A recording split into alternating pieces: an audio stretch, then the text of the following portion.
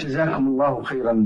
آه المستمع ألف ألف آه يقول فضيلة الشيخ آه ما هي النصيحة التي توجهونها للأسرة بأن يتركوا الإسراف في بعض الأطعمة؟ حيث يتساهلون في الإسراف في الأطعمة. نرجو منكم نصيحة لهؤلاء مأجورين. الله جل وعلا يقول وكلوا واشربوا ولا تسرفوا إنه لا يحب المسرفين. ويقول سبحانه وتعالى ولا تجعل يدك مغلولة إلى عنقك ولا تبسطها كل البسط.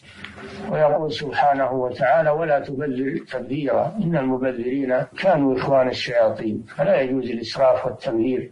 فالإنسان ينفق قدر الحاجة على نفسه وعلى من تلزمه مؤونتهم بقدر الحاجة. وإذا أقام وليمة بمناسبة من المناسبات فليكن ذلك بقدر الحاجة من غير إسراف ولا تبذير ولا بذخ؟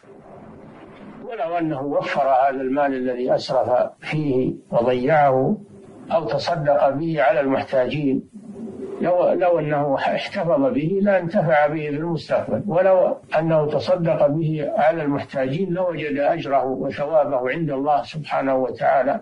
وما تقدموا لأنفسكم من خير تجدوه عند الله هو خيرا وأعظم أجرا.